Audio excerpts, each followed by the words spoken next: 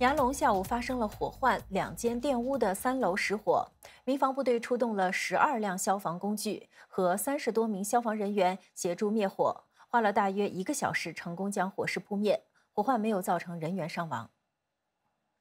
火灾下午发生在牙龙四巷，失火的是第四十五和第四十七号店屋的三楼单位。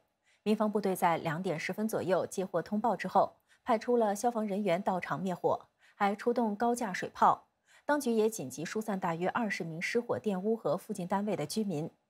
民防部队说，火势三点二十五分左右扑灭，至于失火原因还在调查当中。